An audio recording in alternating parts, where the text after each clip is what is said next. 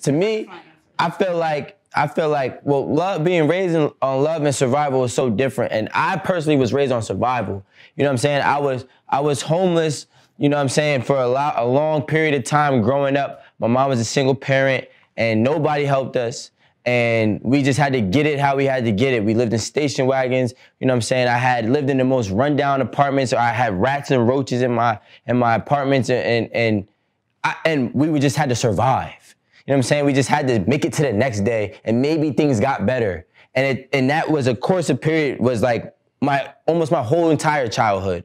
So like I do end up dating girls who are raised on love. And it's usually a problem. And, and, and the problem is because she was raised on love, so she can't understand survival. And I can't understand her love.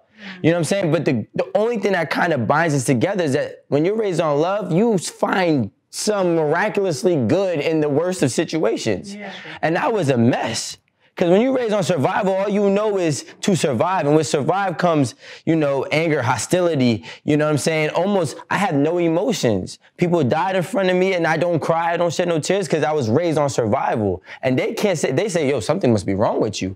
You know, you must be a sociopath because you don't have emotions. But I was just raised on survival, so they can't understand that. When my mother and father was married, it was on love. Yeah. And then for my mother, she divorced my father because she's a lesbian, and so it became a survival. She chose her. So yeah. the survival was, it was like, damn, do I stay married to my husband, but I'm not true to myself, and stay married for my kids, or do I choose me? And she chose to survive. She went against the grain, because my mother's 50 plus, I don't care saying her age, and back then you couldn't come out as lesbian. You couldn't do that. 2021, yes, but back then, no. So what I'm saying is, I was all about love. And then it became a thing about survival.